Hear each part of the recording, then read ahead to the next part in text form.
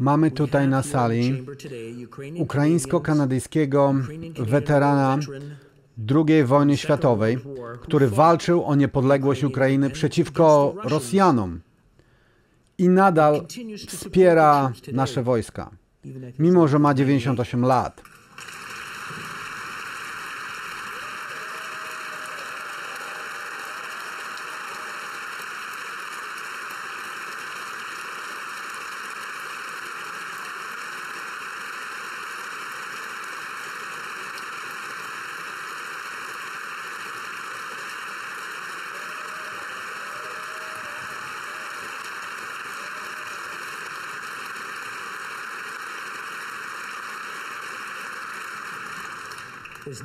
Nazywa się Jarosław Honka. I chciałem powiedzieć, e, że jest teraz w galerii, ale mnie już chyba ubiegliście. Ale z dumą mogę powiedzieć, że pochodzi z North Bay, no, pochodzi z mojego dystryktu.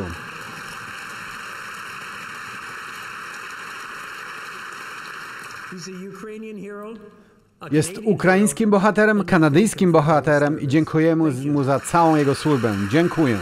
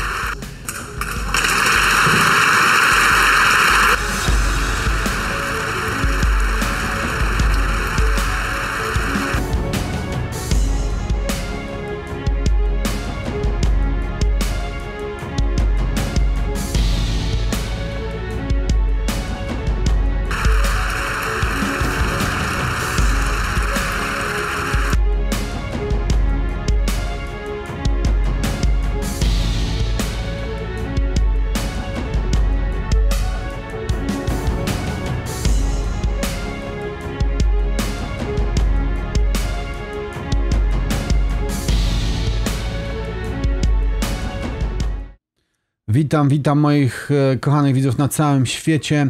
To, co widzieliście, to autentyczny skandal, który w tą niedzielę odbył się w Kanadzie z udziałem e, Załęskiego, który owacyjnie wraz z wszystkimi tam w tym pomieszczeniu oklaskiwali nazistowskiego kolaboranta z Ukrainy. A co się dokładnie stało? No to właśnie podczas e, tego takiego, takiej wycieczki po północnej Ameryce Załęski e, żebrał o pieniądze na wojnę, no ale mm, spotkał się z 98-letnim byłym żołnierzem Waffen-SS. E, wiemy o tym, że ta jednostka nazistowska, te, te, te oddziały były w rzeczywistości chyba najgorszymi jednostkami. Jednym z najgorsze z najgorszych, a Waffen SS, e, tak Galicja ukraińska, no to sławiła się okrucieństwami niesamowitymi, ale to nie to nie zabroniło parlamentarzystom oklaskiwać tego człowieka przez tam całe chyba 30 sekund i wszyscy wstali, wszyscy oklaskiwali e, mm, tego nazistę. Załęski wspólnie z e, Justinem Trudeau wstali i cieszyli się. Załęski tutaj ścisnął pięść e, i pokazał swoją moc nazistowskich oddziałów ukraińskich, które walczyły przeciwko sowieckiej Rosji podczas II wojny światowej.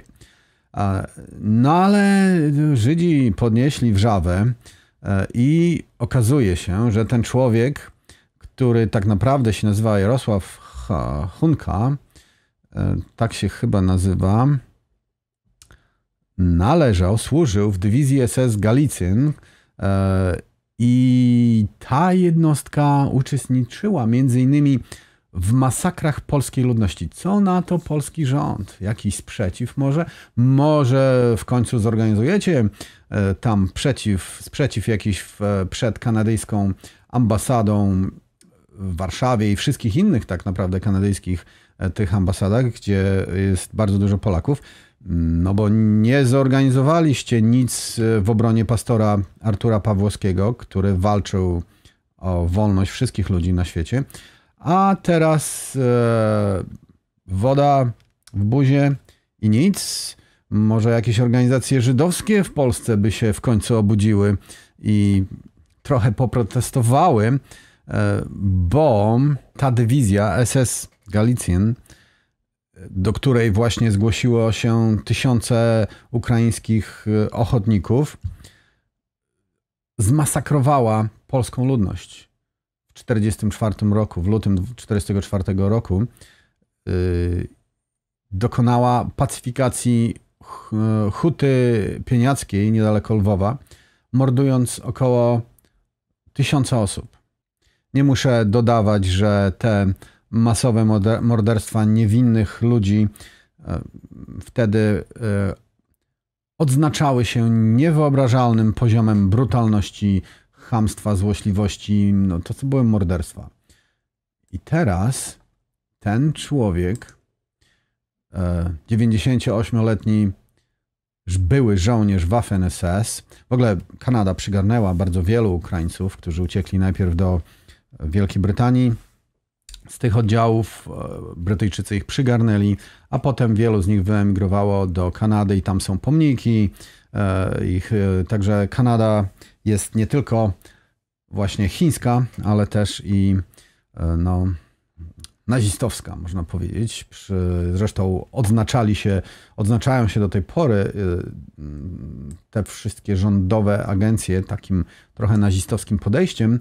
E, są nasiąknięte tym, no bo wiemy, co się działo wtedy, kiedy były protesty mm, trokerów w Ottawie. No, zachowali się jak typowi rasowi naziści. Także ten facet służył w SS i teraz jest oklaskiwany przez cały parlament. Praktycznie z przywódcą tak zwanej Chinady. E, wszyscy e, zbrodniarze e, wojenni zostali uznani za tak naprawdę przestępców i Waffen-SS była jedną właśnie z najgorszych tych organizacji. No ale Kanada, tak jak i Stany Zjednoczone, Paperclip, program Paperclip, program Paperclip przygarnęli mnóstwo, mnóstwo nazistów. E, także ja tu myślę, że teraz tego 98-letniego Ukraińca, Kanadyjczyka niby, e, który walczył za niepodległość Ukrainy wobec Rosjan, może trzeba jakoś tam wyłowić. To nic, że ma 90 lat, ale dla przykładu może trzeba go trochę ukarać.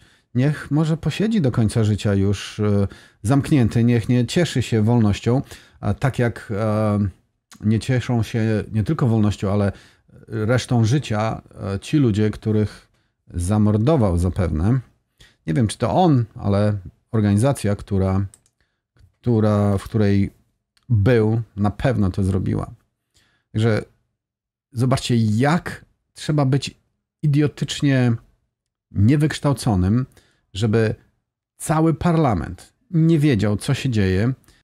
Oni klaskali tylko dlatego, że ten speaker kanadyjskiego parlamentu, który się nazywa Antony Rota, e, właśnie przedstawił e, tego Jarosława Honka jako, jako no, takiego bohatera właściwie narodowego Ukrainy e, i nie zdali sobie sprawy z tego, że Rosja wtedy była aliantem. Była aliantem Kanadyjczyków, Anglików, Francuzów, Polaków, Amerykanów.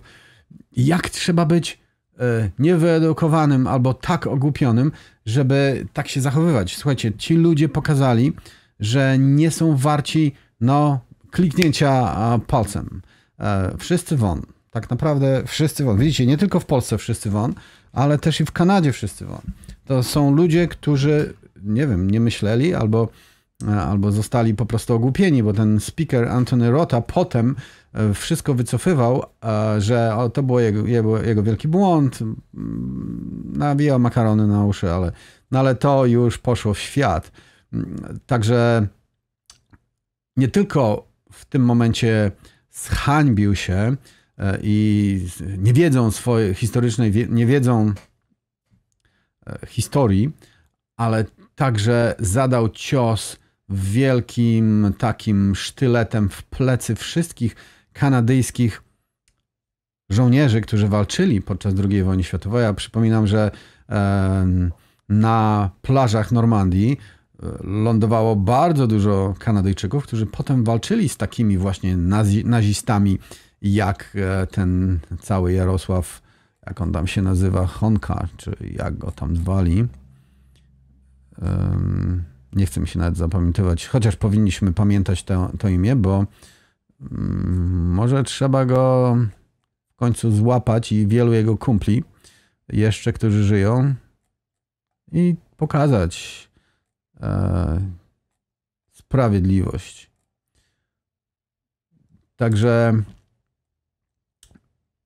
słuchajcie, no tu nie ma o czym więcej mówić. Wszyscy kanadyjscy ci re, parlamentarzyści e, no, zbecili się. Czerwona kartka to za mało. Po prostu jest nie do przyjęcia. E, ten cały Anthony Rota, ten, ten speaker powinien podać się do dymisji.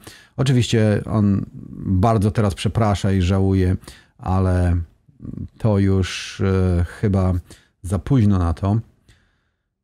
A e, Justin Trudeau i Władimir Zeleński, no tak naprawdę musieli, oni musieli wiedzieć o tym, kim jest ten człowiek, co po, co reprezentuje.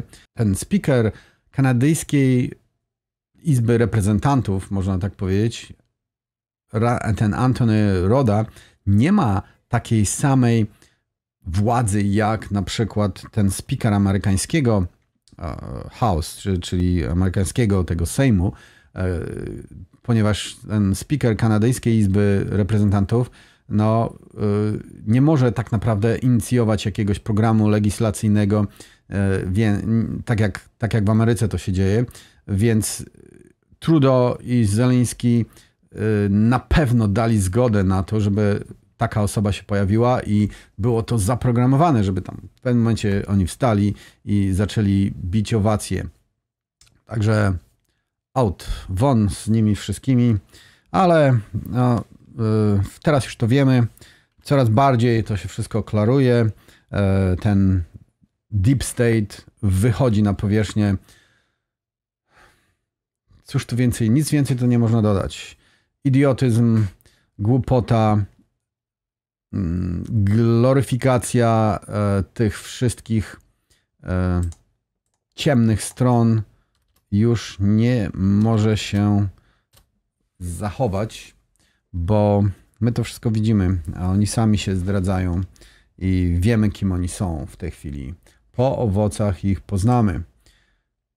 Także na tym bym skończył. To nie jest śmieszne, a tak naprawdę jest śmieszne, bo jak się patrzy na nich klaszczących e, i widzimy e, tą osobę, tego nazistę, który tam chyba nawet prawie zapłakał, no to to jest żenada. Żenada do entej potęgi.